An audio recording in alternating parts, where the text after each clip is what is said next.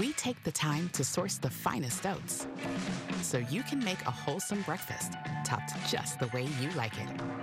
Simple ingredients, pure enjoyment. Bob's Red Mill, nourish to